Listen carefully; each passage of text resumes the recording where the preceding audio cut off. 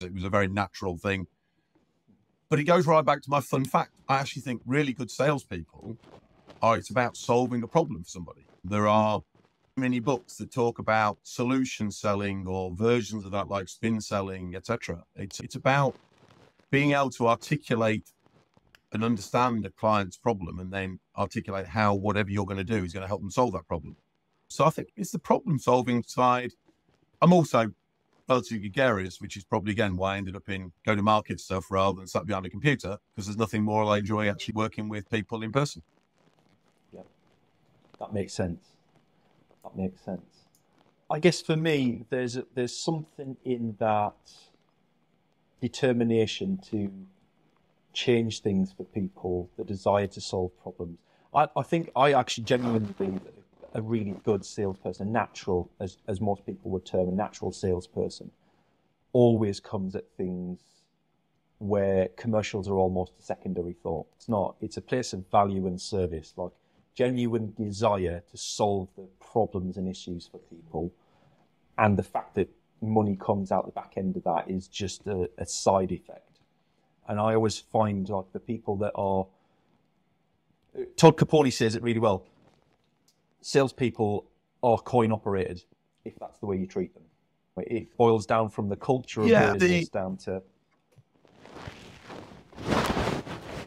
I, I think it's also quite interesting because, in that context, I've never viewed myself as being a great salesperson. Actually, I think I'm more a marketeer and actually the go-to-market strategy first and foremost. But I've also been very fortunate, which I've only ever sold what I genuinely think is the best at what it is and everything I've done.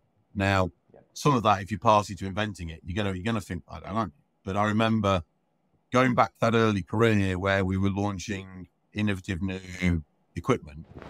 I was bumping into the same sales guys, and I was winning eighty percent of the time, which is great, and I was enjoying the bonus, and it was all fantastic. But I actually remember, I still remember. Don't know whether don't know if Phil Thomas is still in the industry. If he does, here's a shout out. Is he, he it was a better salesman guy than me because he beat me 20% of the time, but I got the best product by a long way. Yeah. So it's really interesting One thing about it, when selling. It's the, so yeah, yeah, fortunate, made it that way, etc. I don't know. But I think there's, and that's possibly one of the tips to some of the SME owners that could be listening here is knowing when to go and hire a sales guy. In an early stage, an entrepreneurial business, being your own advocate, having that enthusiasm, knowing it inside out, etc., is really important to win those early adopters, those innovators. Anyone's familiar with, you know, crossing the chasm, that's the first part of launching a new product or service. Anyone not familiar with that expression, I recommend go get the book and read Crossing the Chasm. It's a really interesting insight into, you know, growing a business and turning mainstream.